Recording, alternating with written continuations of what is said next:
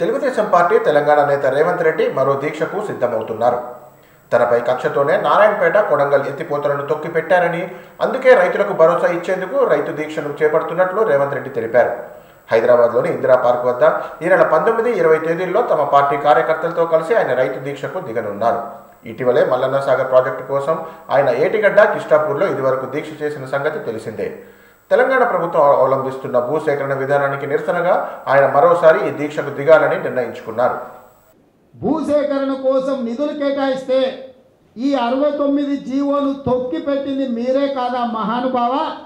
హరీష్ రావు గారు మీరు తొక్కి పెట్టిన అరవై తొమ్మిదవ జీవోను తక్షణమే అమలు చేయండి అని చెప్పి అఖిలపక్ష సమావేశము రాష్ట్ర రోకోలు బంధులు పాదయాత్రలు నిరాహార దీక్షలు నారాయణపేట కొడంగల్లో జరుగుతున్న మాట వాస్తవం కాదా? ఈ ప్రాజెక్టు నిర్మించాలని తెలంగాణ జేఏసీ కన్వీనర్ కోదండరాం నుంచి మొదలు పెడితే జస్టిస్ చంద్రకుమార్ వరకు Congress CPI CPM BJP TDP MIM ఈ రాష్ట్రంలో ఉన్న అన్ని రాజకీయ పార్టీలు ఒక టీఆర్ఎస్ తప్ప చివరిగా ఉండే పాలమూరు జిల్లాలో ఎక్కడో ఒక మూలకు ఉండే నారాయణపేట కొడంగల్కు నిధులను కేటాయించి నికర జలాలతో ప్రాజెక్టులను నిర్మించమని చెప్పి ఉద్యమాలు జరుగుతున్న మాట వాస్తవం కాదా?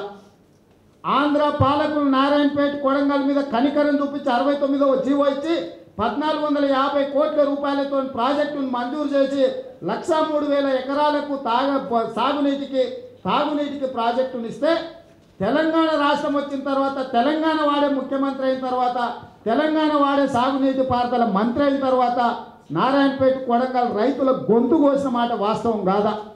ఈ జీవో నిలువుటెత్తు ఆధారం కాదా?